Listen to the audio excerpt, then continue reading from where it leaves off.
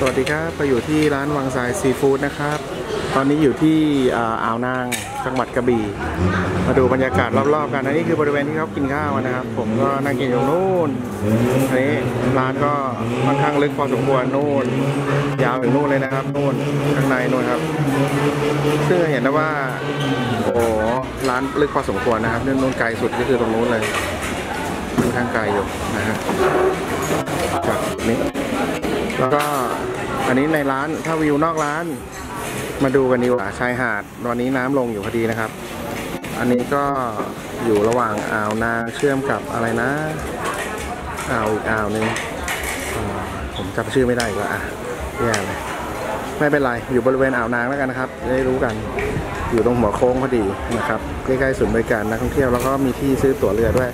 อันนี้มาดูวิวรอบๆกัน อันนี้พระอาทิตย์กำลังจะตกดินเรากำลังรอเวลาอยู่นะครับพราะให้พ่อแม่เขาออเดอร์ของกิน เพราะว่าผมขับรถมาก็เหนื่อยพอสมควรตั้งแต่ชุมพรอันนี้ก็มาดูวิวพระอาทิตย์ตกสวยๆกันดีกว่าวันนี้นะครับ อาจจะต้องเป็นภาพนิ่งแล้วทำแลบไปนะผมว่าน่าจะโอเคกว่า เดี๋ยวรอดูกันนะครับสวัสดีครับ